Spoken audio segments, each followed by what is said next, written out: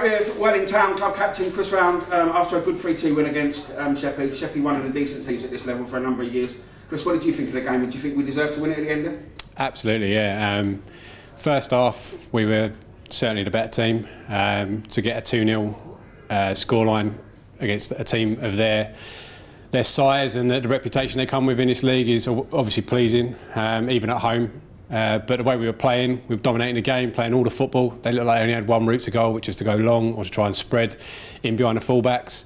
Um, first 15 minutes of the second half, I thought we were by far the better side. Looked like we could run away with it 3-4. They get a, you know, an, an unfortunate penalty, and then you know 2 0 is the the worst scoreline to have, and suddenly the, uh, the momentum shifts, and they suddenly look like the better side for 10, 15 minutes, and then it was anyone's game. So, and yeah. then you know, 30 seconds of each other, Jackson made an unbelievable save. Their goalkeeper made an unbelievable save. Both teams trying to win it at the end there, and then Johan gets his toe on one and it's in the back of the net. Yeah, and we had one just before that where I think Johan headed it straight at the goalkeeper as well. Um, Jack makes that unbelievable save. You know that's why we have a keeper like Jack because he, he, earns us points. You know another another goalkeeper another day. That's them three two up and probably winning the game.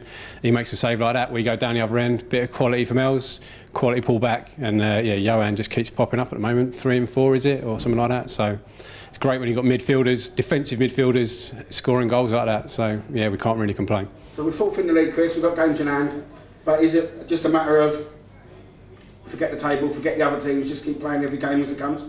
Yeah, it's a, it's you know you can't forget the table because you look at it and no one expected us to be fourth in the table after 15, 16 games. So you have to look at it and think, well, actually, we deserve to be where we are because we, we've won these points. Uh, no one can take that away from us. But you know, we take it a game by game basis or four game basis and see where we get to by Christmas, see where we get to by the end of Feb. We're still in the Vase, we're still in other cup competitions, you know, and we just we'll take it one step at a time. But you can't ignore the table. You know, it's great to be in the top four. It's great to be there, and um, we'll we'll keep plugging away and, and hope we can make make something happen by the end of the season. Speaking of the Vase, we've got that coming up. Uh, we've got a team from Step Six at home. On the face of it, a good draw, but FA Cup, FA well, strange things happen and upsets happen. What, what have we got to do to make sure that we're not an upset? We just got to go through our processes. You know, if we play the way we can play, um, go go through the go through the steps that we go through every week. There's, there's I, I don't expect anything other than a, a good home win. But you know, cup football is cup football. They're going to come here. They're going to have a good go. They've obviously earned their place in in the round that they're in, regardless of what step they come from. It doesn't really matter. You know, uh, any step six can come up and beat a step five or a step four side uh, on their day. Um, I don't expect anything other than them to come up and give absolutely 150%, and I don't expect anything less than us to go out there and give exactly the same back, and it'd be a pretty good game. But I fully expect a Welling win. So. Yeah, Danny said our intensity levels were a little bit below what we expected. Today, I thought for the first hour they were fantastic, and it's important against Bedfont and Feltham that our intensity and our desire and our work rate is bang there from the whistle. Yeah, that's you know I've played for Dan for three or four years now, and the bedrock of everything that we've had we've we've we've done is is hard work. You can have all the best players in the world, you know, the Adams, the Lewises, the Rob Browns, but if you haven't got 11 players pulling together, giving 150%, then it doesn't really matter. And that's, you know, the foundation of everything that uh, Dan has pulled together over the last three or four years is squads of 18, 20 players that will give 200% for each other week in, week out and allow the, the creative players to flourish at the top end of the park. But yeah, it's built on hard work, effort, attitude, application. Uh, at the start of the season, you were team captain, club captain.